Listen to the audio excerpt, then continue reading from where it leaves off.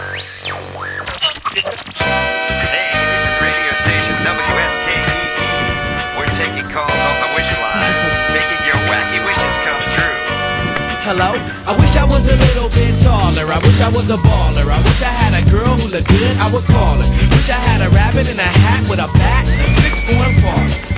I wish I was like six foot nine so I could get with Leoshi cause she don't know me, but yo, she's really fine.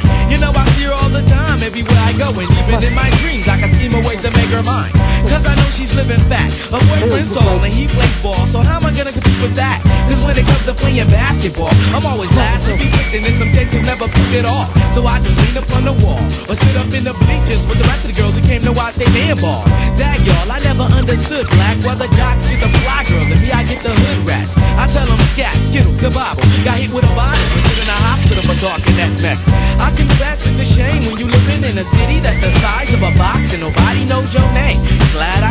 To my senses, like quick, quick, got sick, sick to my stomach, overcome it by thoughts of me and her together, right? So when I asked her out, she said I wasn't a type. I wish I was a little bit taller. I wish I was a baller.